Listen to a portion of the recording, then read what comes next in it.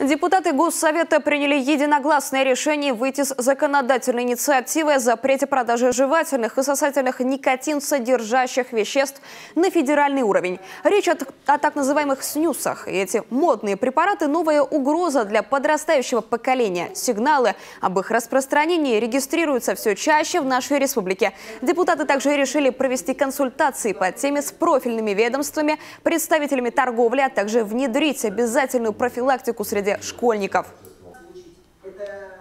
В употреблении вот этих вот никпеков, или как, снюсов, говорят, вовлечены школьники 5, 6, 7 класса. И употребляют они его, понимаете, не с целью того, чтобы испытать какое-то одурманивающее, а с целью интереса. Это не запрещено.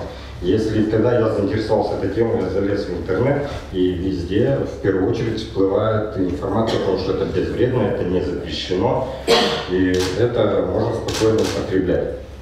И опасность заключается в том, что тем самым э, мы, возможно, каким-то даже своим бездействием культивируем в наших детях зависимое поведение. И в дальнейшем, э, когда у ребенка это сформируется, они вынуждены будут искать новые, более крепкие психоактивные вещества. Или это на данный момент у них будет алкоголь, не дай бог, наркотические вещества. Тут э, велика роль гражданского общества. Давайте будем апеллировать э, и все-таки э, сделаем все возможное, чтобы э, все граждане были осведомлены об этом и включились в борьбу против вот этого самого зла. Кроме того, у нас в основном распространением занимаются торговые сети, и я знаю, что Значит, федеральные торговые сети как раз там такие, так сказать, ну, основные игроки на этом рынке. Да.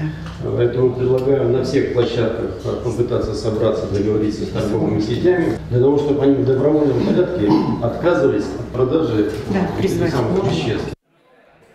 Торговля с нюсами, содержащими табак, уже запрещена. Однако производитель воспользовался, как выяснилось, пробелом в законодательстве и отныне выпускает опасное вещество в виде жевательного табака, леденцов, конфет. Содержание синтетического никотина в них превышает, как правило, концентрацию никотина в пачке сигарет.